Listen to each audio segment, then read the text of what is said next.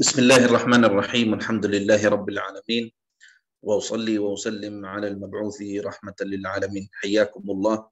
أهلا وسهلا في برنامج اللغة العربية للناطقين بغيرها.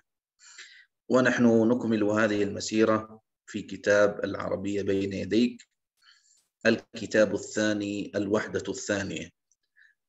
الترويح عن النفس. الترويح عن النفس.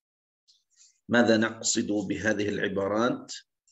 بإذن الله سنتعلم سويا ماذا تعني كلمة ترويح وماذا تعني أيضا كلمة النفس.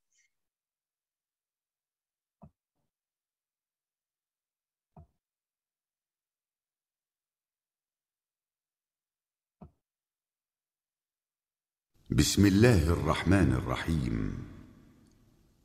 العربية بين يديك. سلسلة في تعليم اللغة العربية لغير الناطقين بها. كتاب الطالب الثاني. الوحدة الثانية. الدرس الرابع عشر. استمع إلى الحوار. الحوار الإنسان يحتاج إلى الترويح. الحمد لله على سلامتك يا إبراهيم. شكرا لك أنا بخير والحمد لله ماذا حدث؟ لماذا أنت هنا؟ أغمي علي وأنا في الشركة وعندما أفقت وجدت نفسي هنا في المستشفى وما رأي الطبيب؟ فحصن الطبيب وقال لي أنت بخير ما المشكلة؟ الأمر عجيب جدا طلب مني الطبيب أن أغير أسلوب حياتي تغير أسلوب حياتك. ماذا يقصد؟ قال لي حياتك كلها عمل لا ترويح فيها. يا له من أمر عجيب. صدق الطبيب. فحياتي كلها عمل لا ترويح فيها. وبما نصحك؟ أن أقضي العطلة في بلد جميل. يا لها من نصيحة طيبة.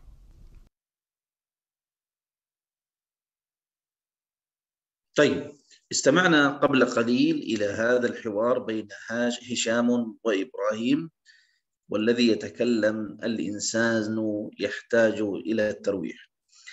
إذا معنى كلمة ترويح أيها الكرام relaxing.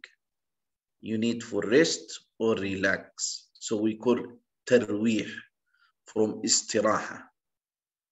طبعا من خلال ما قرأنا أن يعني إبراهيم حصل له مشكلة أثناء العمل وكانت هذه المشكلة بسبب أن إبراهيم أو نعم إبراهيم لا يأخذ آه، إجازة أو ما يسمى بيوم راحة وإنما دائما يعمل. فهذا السبب الذي جعله يعني يصاب بالغماء.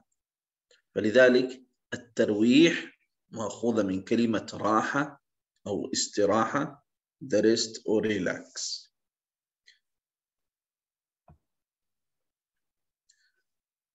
طيب لدينا تدريب. التدريب الأول استيعاب وهو عبارة عن ضع علامة صح أو خطأ ثم صحح الخطأ. عبارة عن آه، كلمة جمل لها علاقة بما آه، قرأناه قبل قليل في المحادثة بين هشام وإبراهيم. على سبيل المثال رقم واحد أغمي على إبراهيم وهو في العمل. هل هذا صحيح أم خطأ؟ الجواب سيكون أمامكم. نعم صحيح. الجملة الثانية طلب منه الطبيب أو الطبيب أن يغير أسلوب عمله. هل هذا صحيح؟ نعم طلب منه أن يغير أسلوب حياته. الجواب خاطئ وإنما ليس أسلوب عمله. أسلوب حياته بشكل كامل. حياة هشام كلها عمل. ما رأيكم هل كان هشام أو إبراهيم؟ الجواب خاطئ إذا هو حياة إبراهيم. نصح الطبيب هشاما نصيحة طبية. هل هذا صحيح؟ إذا هو خاطئ. الذي نصح هو إبراهيم وليس هشام. قابل هشام إبراهيم في المستشفى هل هذا صحيح؟ نعم حينما زاره ليطمئن عليه. التدريب الثاني رتب الجمل التالية كما ورد في الحوار. نحتاج أن نرتب ما هي الأولى ما هي الثانية ما هي الثالثة والترتيب بمعنى ري أرانج فلاحظوا هذه الجملة الأولى حسب التسلسل في الحوار. هذه الجملة الثانية هذه هي الجملة الثالثة الرابعة وأخيرا الخامسة. طيب نكمل. مفردات املأ الفراغ بالكلمة المناسبة من الصندوق. هذه مجموعة من الكلمات في الصندوق. وجد قضى فحص غير نصح سنضعها في الفراغ حسب يعني سياق الكلام لو أردنا رقم واحد الطبيب المريض ما رأيكم؟ سأدع لكم الجواب ما رأيكم؟ هل أقول وجد أو قضى أو فحص أو غير أو نصح ما رأيكم؟ بإمكانكم أن تجاوبوا باستخدام المايك ما رأيكم؟ فحص أو وجد أو قضى أو غير أو نصح.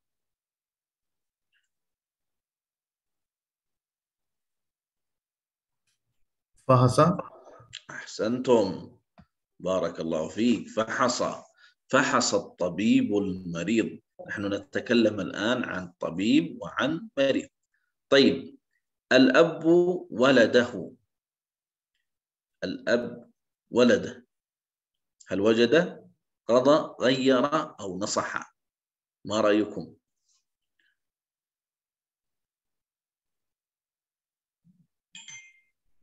نصح. نصح أحسنتم. نصح الأب ولده. القلم في الحقيبة. ما رأيكم؟ وجد. وجد أحسنتم. العطلة في القرية ما رأيكم؟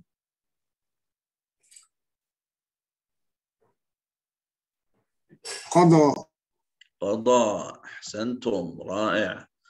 الرجل أسلوب حياته ما رأيكم؟ غير. غير.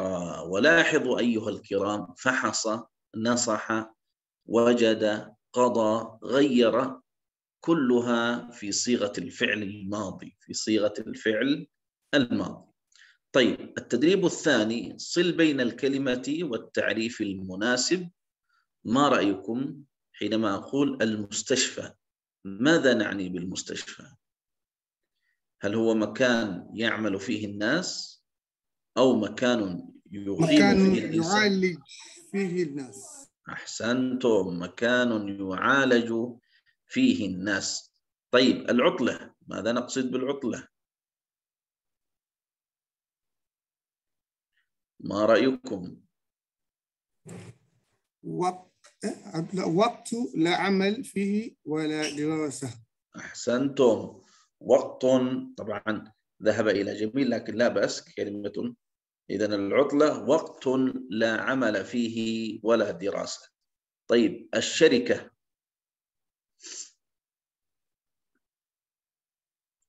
مكان يعمل فيه الناس. أحسنتم. البلد.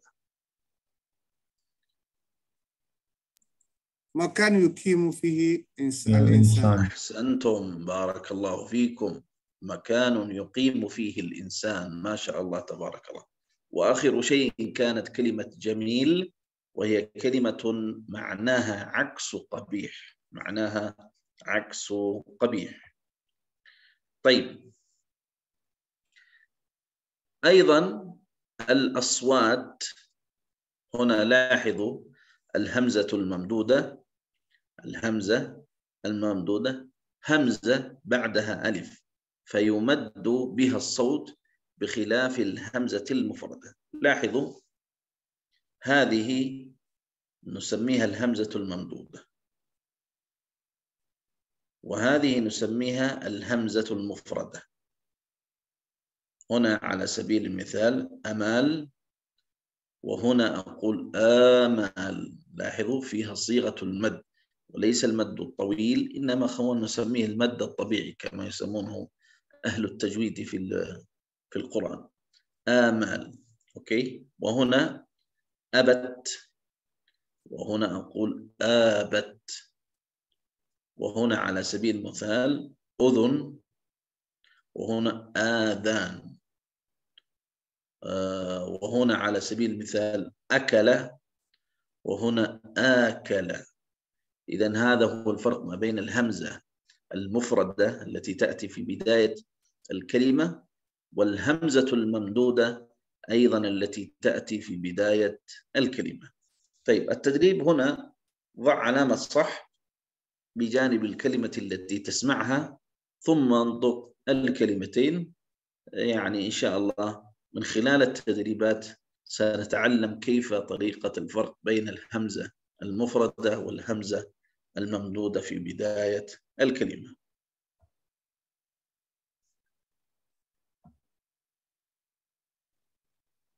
طيب.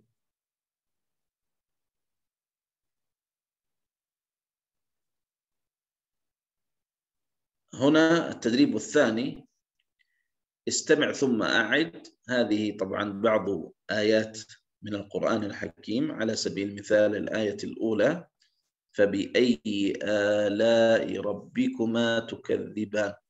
آلاء. أوكي لاحظوا هذه. والثانية ويريكم آياته آياته وهذه بعض الصور أيضا في التدريب الثالث يعني الهمزة الممدودة في آل عمران آل إبراهيم آتاه الله آل لوط وبعض هذه الكلمات.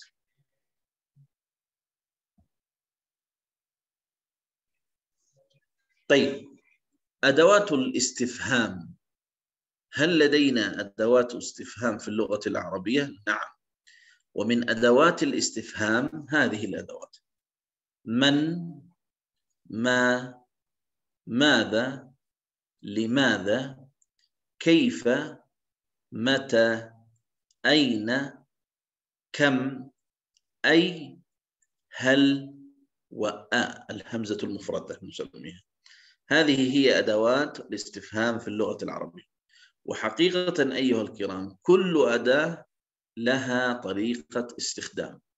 فمن أستخدمها إذا كنت أريد أن أسأل عن أشياء. من ذهب إلى المسجد أو من هذا؟ وأيضا ما وماذا أستخدمها إذا أردت أن أسأل عن الأشخاص والأشياء؟ لماذا إذا أردت أن أسأل عن السبب؟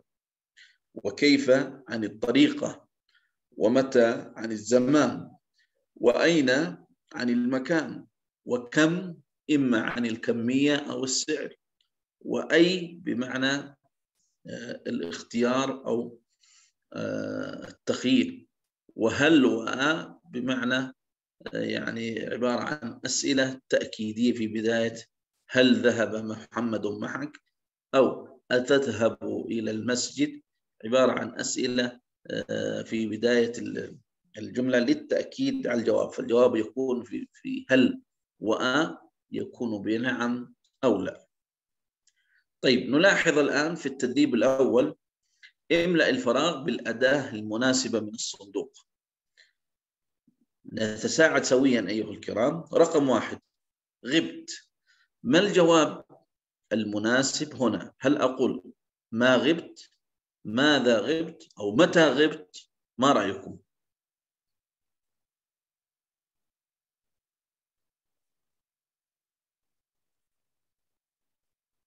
ما رأيكم أيها الكرام؟ متى؟ متى غبت أو لماذا غبت؟ OK؟ كلا الاثنين حقيقة صحيح. متى غبت؟ أسأل عن الوقت. أو لماذا غبت؟ أو أقول كيف غبت؟ OK؟ هذه كلها يعني تؤدي إلى الشيء الصحيح. طيب الذي بيدك ما رأيكم؟ ما الذي بيدك؟ أحسنتم. ما الذي بيدك؟ أحسنتم. سافر معك. من؟ من سافر معك؟ ممتاز. الحال؟ كيف الحال؟ كيف؟ الحال؟ ما شاء الله. تريد.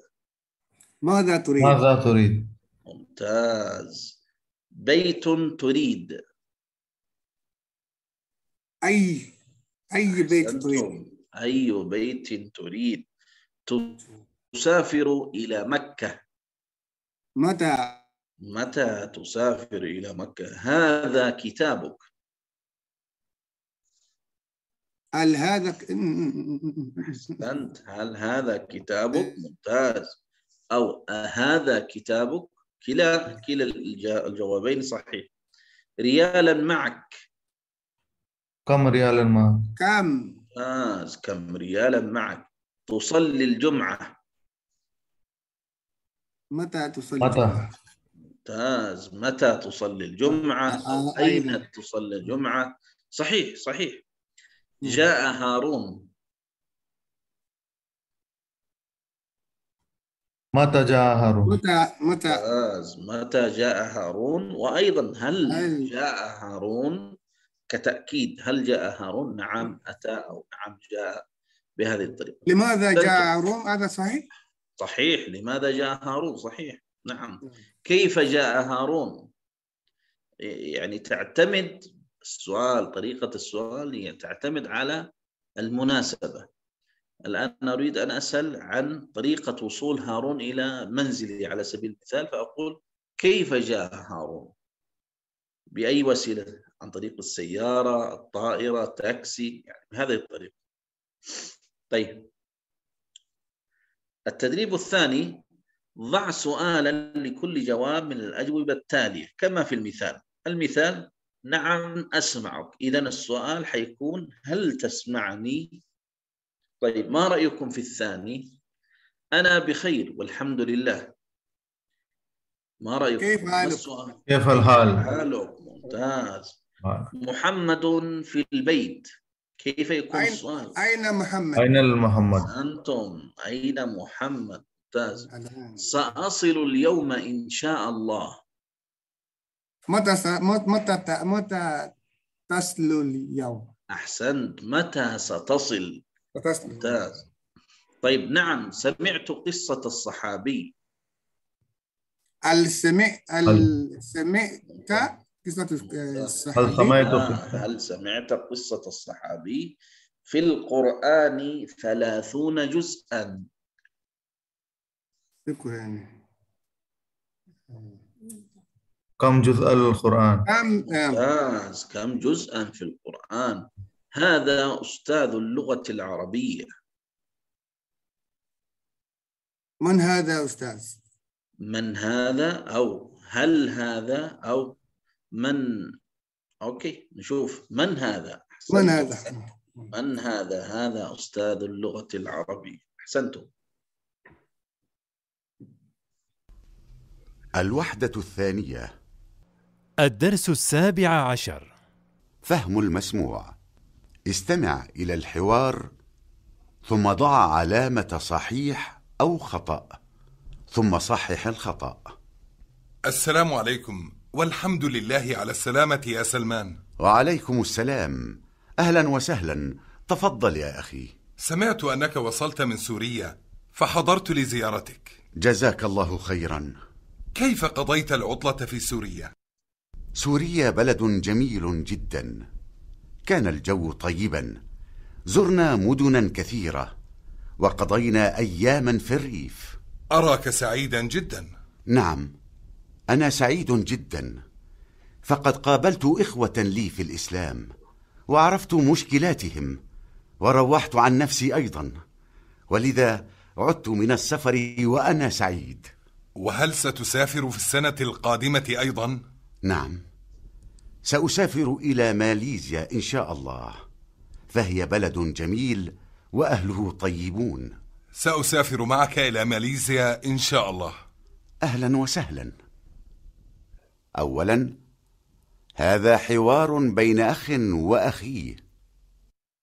ثانيا سافر سلمان إلى ماليزيا. ثالثا حضر الأخ لزيارة سلمان. رابعا سيسافر سلمان إلى سوريا العام القادم. خامسا يريد الأخ السفر مع أخيه في العام القادم. طيب استمعنا أيها الكرام إلى الحوار بين اثنين. ما رأيكم الآن؟ رقم واحد هذا حوار بين أخ وأخيه هل هذا صحيح أو خطأ؟ وإذا كان خطأ ما الصحيح؟ ما رأيكم؟ صحيح. صحيح. إذا الجواب خاطئ أخي الكريم. والصحيح؟ من وأخيه نعم. طيب سافر سلمان إلى ماليزيا. ما رأيكم؟ خطأ خطأ. إلى أين سافر؟ سوريا. إلى سوريا. سوريا. للزيارة ولقضاء العطلة حضر الأخ لزيارة سليمان. هل هذا صحيح؟ هذا once. خطأ. أحسنتم. في بلده كان في بلده. سيسافر سلمان إلى سوريا العام القادم. ما رأيك؟ خطأ. إلى ماليزيا. إلى ماليزيا. أحسنتم. يريد الأخ السفر مع أخيه في العام القادم. نعم. نعم. أحسنتم. أحسنتم. أحسنتم. طيب. نكمل.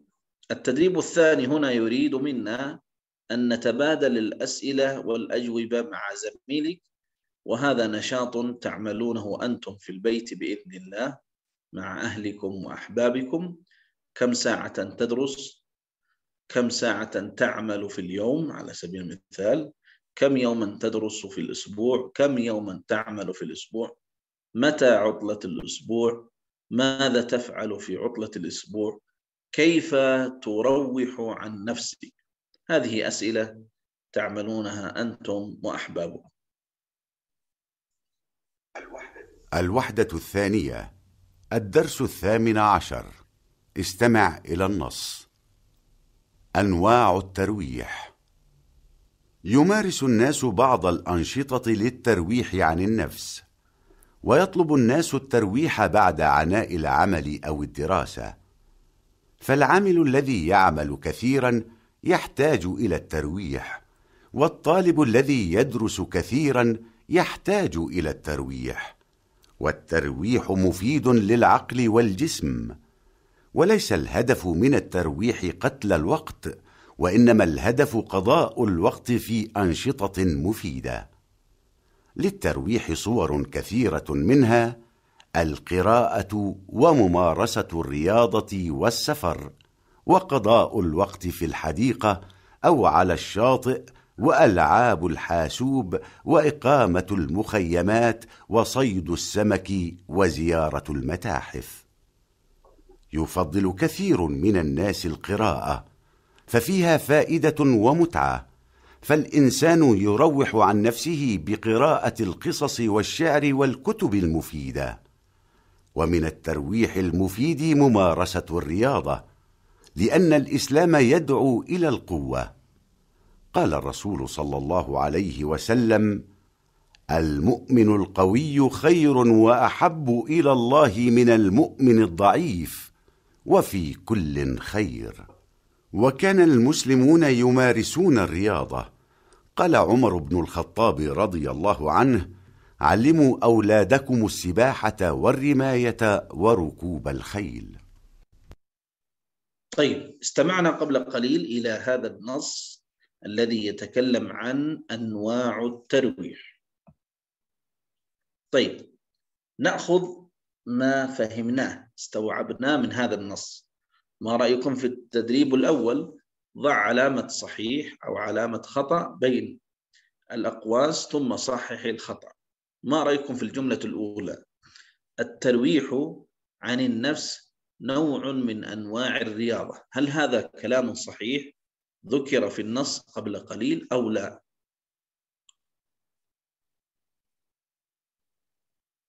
ما رأيكم؟ الترويح عن النفس نوع من أنواع الرياضة. صحيح أو خطأ؟ لنرى الجواب سويا. الجواب خاطئ هو نشاط وليس نوع. كل الطلاب يحتاجون إلى الترويح ما رأيكم؟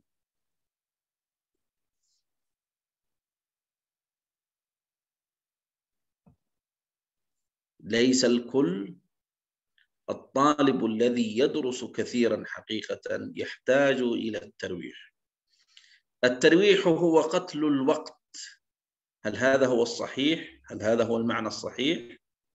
لا المعنى هو قضاء الوقت في أنشطة مفيدة ألعاب الحاسوب فيها ترويح عن النفس ما رأيكم؟ نعم ولكن ليست الكل في القراءة فائدة للعقل والجسم فائدة حقيقة للعقل أما الرياضة ففيها للعقل والجسم. طيب التدريب الثاني أجب باختصار عما يلي لماذا يمارس الناس بعض الأنشطة؟ متى يطلب الناس الترويح؟ ما الهدف من الترويح؟ ما صور الترويح المفيدة؟ من الشخص الذي يحتاج إلى الترويح؟ وهذه حسب ما فهمناه من خلال قراءتنا للنص السابق. طيب سنكمل. أيها الكرام التدريب صل بين الكلمتين اللتين تأتيان معا ثم استعملهما في جملة من إنشائك. يعني لدينا كلمتان تأتيان مع بعض دائما.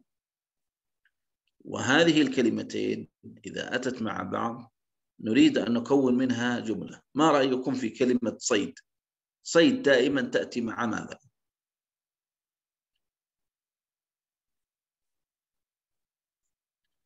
على سبيل المثال كلمة صيد تأتي مع السمك فأقول صيد السمك. قراءة تأتي مع كتب. ركوب مع كلمة خيل. قتل الوقت ممارسة الرياضة. ولو أردنا أن نجعلها في جمل لعملناها مثل ما ذكرنا لكم سابقا. طيب التدريب الثاني أضف كلمتين مناسبتين إلى كل مجموعة. الدراسة على سبيل المثال العلوم الطب نضيف عليها الهندسة والكيمياء إذا أردنا يعني من الكلمات حسب ما تملك أنت من المفردات هنا نتكلم أيها الكرام عن جزء من قواعد اللغة العربية وهو الفاعل ماذا نقصد بالفاعل؟ ما تعريف الفاعل؟ هو الاسم المرفوع الذي فعل الفعل تعريف الفاعل في اللغة العربية هو الاسم المرفوع دائما يأتي مرفوع. الذي فعل الفعل. الذي فعل الفعل. ولاحظوا هذه الجمل. يمارس الناس الرياضة. يطلب الطلاب الترويح. قال الرسول صلى الله يشرب المريض رضي الله يفضل كثير يفحص الطبيب يطوف الحاج. هذه جميعها التي باللون الأحمر هي فاعل مرفوع وهي من فعلت الفعل إذا أردنا أن نقول ذلك. طيب هنا أيها الكرام نريد مشاركتكم. اختر الفاعل المناسب مما بين القوسين. على سبيل المثال أكل علي الخبز.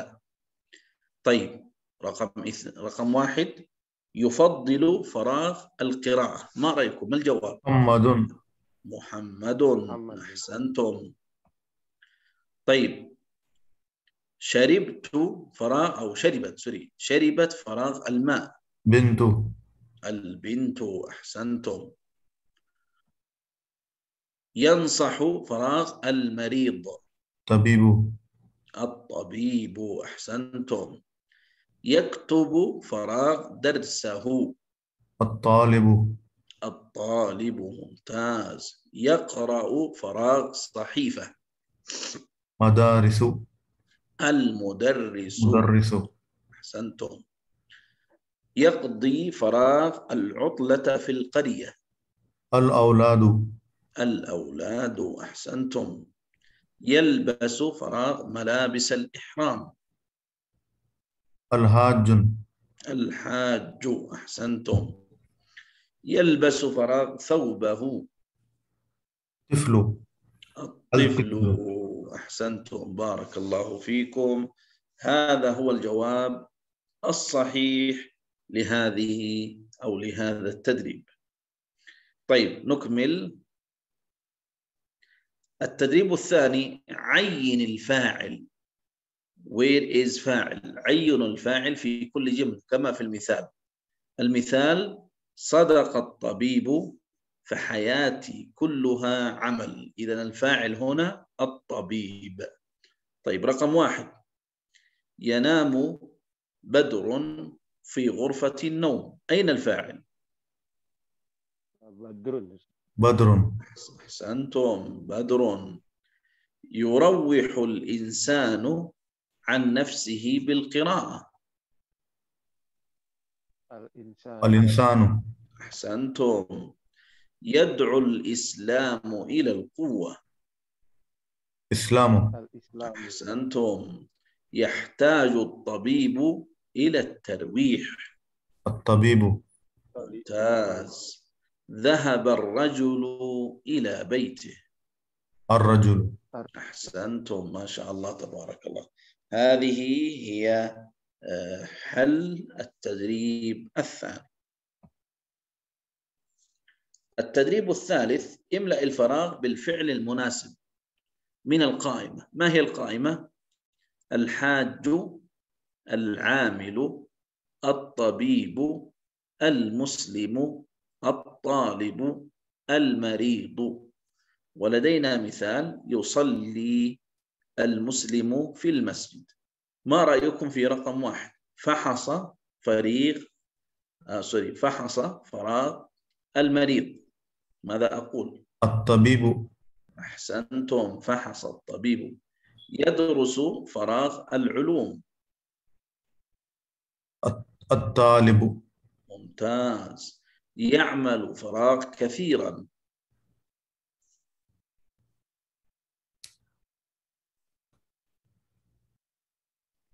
ما رأيكم؟ يعمل فراغ كثيرا. ال- العامل العامل ممتاز؟ يتناول فراغ الدواء. المريض. المريض سعى فراغ بين الصفا والمروة. الحاج الحاج أحسنتم ما شاء الله تبارك الله.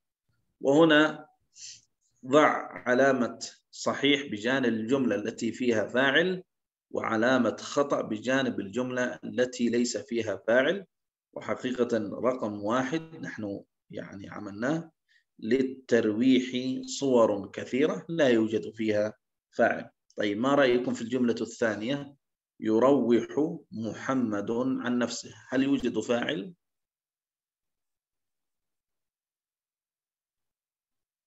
إذا كان يوجد فأقول صحيح. إذا لا يوجد فأقول خطأ. هل يوجد فاعل؟ يروح محمد عن نفسه.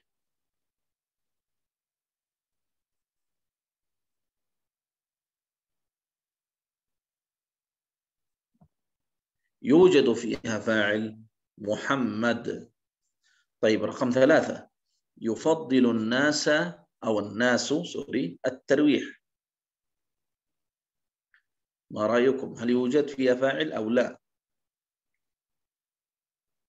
يوجد فيها فاعل الناس. الترويح مفيد للجسم. هل يوجد؟ صح. لا يوجد فيها فاعل. فكلمة مفيد هنا ليست صيغة فاعل. طيب المؤمن القوي خير من المؤمن الضعيف. ما رأيكم؟ هل يوجد. فاعل؟ أحسنتم. يلعب الطلاب كرة القدم. صح. صحيح. نعم. فكلمة الطلاب هي الفاعل. ألعاب الحاسوب فيها ترويح. خطأ أحسنتم. يسافر أخي بالطائرة. صح. صحيح فكلمة أخ هي صيغة الفاعل ولكن لم يوجد هنا ضمة بسبب علة ما. طيب. الوحدة الثانية الدرس العشرون. استمع إلى الحوار. الحوار كيف نقضي العطلة؟ العطلة على الأبواب يا أبا أحمد. يا لها من مشكلة كبيرة يا أم أحمد. كيف سيقضي أولادنا العطلة؟ هيا ننادي الأولاد ونناقشهم في الأمر. فكرة طيبة. سأناديهم الآن. يا أحمد يا فاطمة يا طارق يا ندى يا بدر. كيف نقضي العطلة يا أولاد؟ نريد آراءكم. أرى السفر إلى مصيف جميل. أحسنت. وما رأيك يا فاطمة؟ أرى عمل حديقة للبيت. يا لها من فكرة طيبة. فليس في بيتنا حديقة. أفضل مشاهدة برامج التلفاز. لا مانع من مشاهدة البرامج المفيدة فقط ساعة أو ساعتين. وماذا تقول ندى؟ وماذا يقول بدر؟ سأقرأ كتبا كثيرة في العطلة. سألعب وسأقرأ وسأسبح في البحر. عطلة سعيدة يا أولاد. طيب استمعنا إلى هذا الحوار بين الأب والأم والأولاد فيما يتعلق بكيف نقضي العطلة. طيب الاستيعاب وهذا آخر شيء سيكون معنا اليوم بإذن الله. إذا أردنا أن نضع علامة صح أو خطأ العطلة بعد أسبوع. الجواب خاطئ هي قريبة على الأبواب ولم يذكر شيء بالتحديد. بدر سيسبح في النهر خطأ. سيسبح في البحر ندى. ستشاهد التلفاز خطأ. ستقرأ كتبا كثيرة. لدى الأسرة حديقة جميلة خطأ. ليس لدينا حديقة. الأب ينادي الأولاد خطأ. إنما هي الأم من نادت الأولاد. التدريب الثاني أجب باختصار عما يلي هذه مجموعة من الأسئلة نجاوب عنها حسب ما فهمناه من النص الذي قرئ علينا قبل قليل. طيب كما أخبرناكم سنتوقف في هذا الجزء. سنتوقف في هذا الجزء. بارك الله لنا ولكم فيما وهبنا من العلم. وأسأل الله أن يبارك لنا ولكم إن شاء الله ويزيدنا وإياكم من العلم والتقى. يا رب العالمين. السلام عليكم ورحمة الله وبركاته.